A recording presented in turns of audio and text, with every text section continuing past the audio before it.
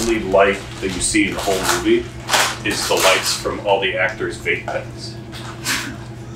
And it's going to be like a vaping based horror film. What's it called? I haven't figured that out yet.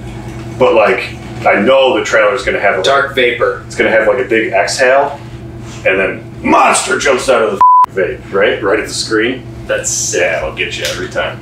I like that. No. It all came to me the other night when I was in my bunk and I didn't want to turn on my light, so I just hit my vape a bunch, and the light from the vape illuminated my bunk enough that I could find my phone.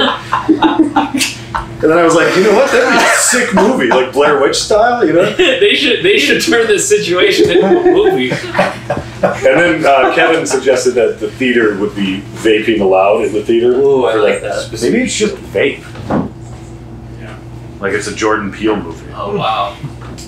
I like that. Vape in Helvetica.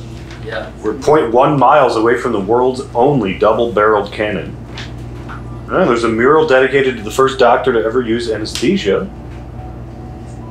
Tony anesthesia. There's a tomb inside the football stadium that has all the dead bulldogs. Each dead dog gets a bronze memorial plaque with an epitaph. The current living mascot bulldog uh, lives in an air-conditioned doghouse near the cheerleaders platform. But eventually, he too will end his college career here. Oh, won't we all? Bury me with those dogs when I go.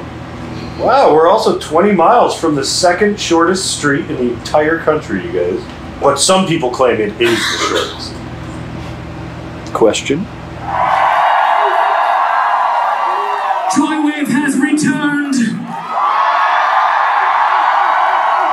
And I just got word before I came out on this stage that tonight's performance is officially sold out. You know, we've been touring for a bunch of years, and sometimes you're up here singing, and uh, there's a TV on in the background playing Shark Tank or something like that. Tonight I had a first. Uh, while we were playing our hit song Tongues about 45 seconds ago, I watched a man walk by the open door dressed as Jesus, cross, followed by several Roman guards, followed then by a man in a Satan mask. So I assume that is a traveling thing going to bars tonight. Really? That's real. Our, our, our front of house guy just said, is that real? That's real.